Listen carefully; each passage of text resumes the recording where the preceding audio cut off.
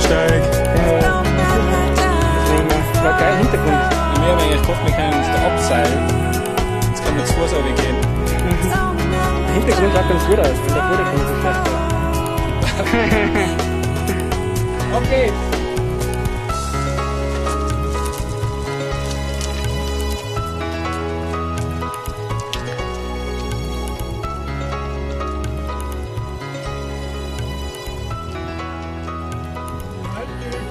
Denn du hin? Ich sitze nicht mehr.